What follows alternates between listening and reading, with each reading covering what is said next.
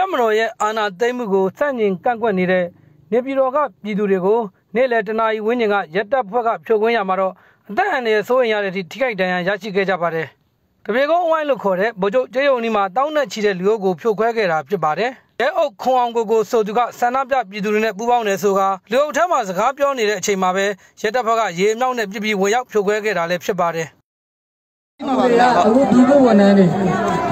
ရုံးမတက်ရဲ့အစီမပြေဘူးလေဘာကြောင့်လဲဆိုတော့သူတို့လမ်းစာလက်ကစားတွေနဲ့နေရတယ်တန်းသလားမှန်ပါပါခင်ဗျမှန်ပါတယ်ဒီအတွက်ကျွန်တော်မီဒီယာကဘာ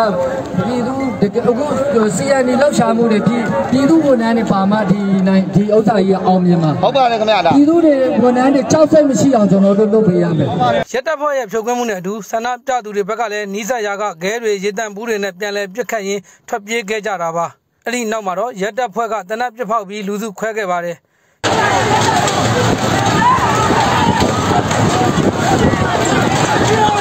you.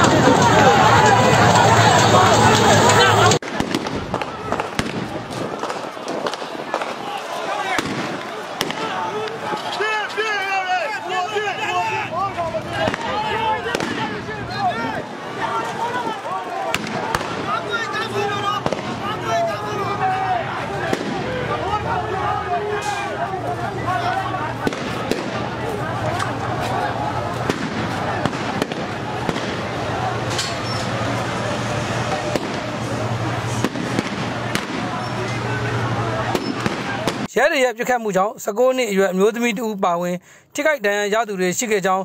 ကျမရေးဝန်ဆောင်မှုပေးနေတဲ့ဆရာဝန်တူကပြောပါတယ်ခုလောလောဆယ်စိုးရင်ရတော့ဗျာဟိုဟာ19နှစ်19နှစ်ရွယ်မိန်းကလေးဗျာဟုတ်သူကကျွန်တော်တို့ဒီ pride ကျွန်တော်တို့ဒီအပြင်ကျွန်တော်ဖွင့်ထားတဲ့ clinic နေရာကိုရောက်တော့သတိမတ်ကမကောင်းဘူးဗျာဟုတ်